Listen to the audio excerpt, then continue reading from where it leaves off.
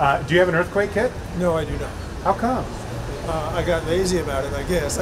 That's the laissez-faire attitude of a lot of Californians. And plenty of like rubbing alcohol, bandages of different sizes, um, making sure that I have like latex-free options.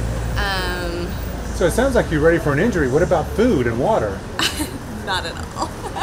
not close. You know you should have one. I will start on it right away. A study from the Public Policy Institute in 2014 showed half of Californians had an earthquake kit.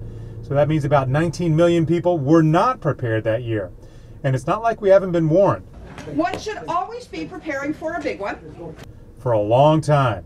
We're going to be on our own for a minimum of 72 hours. What do you do? What does that mean? So what's behind the lack of planning?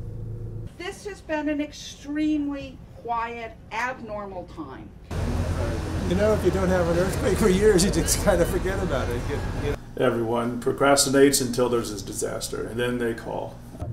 Jeff Tadioshan runs Earthshake's disaster supply store with his wife in Burlingame out of a room in the back of his insurance office. And if there's not any activity, people aren't thinking about it. So if you own a brick and mortar store, how are you paying the rent and paying your employees? You, you can't. Most of his business is now online and his website lit up after the Los Angeles earthquake.